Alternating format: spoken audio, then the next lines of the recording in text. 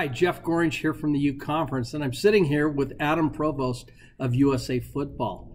Adam, welcome to Salt Lake. Jeff, I'm, I'm excited to be here. So tell us what brings you out here.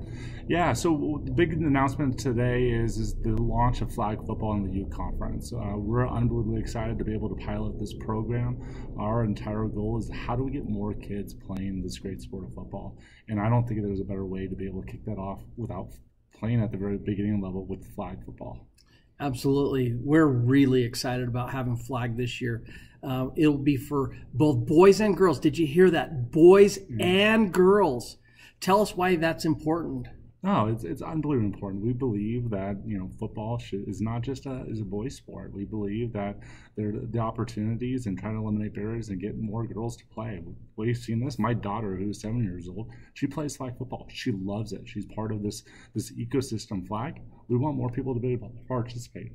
So it's not just for your boys.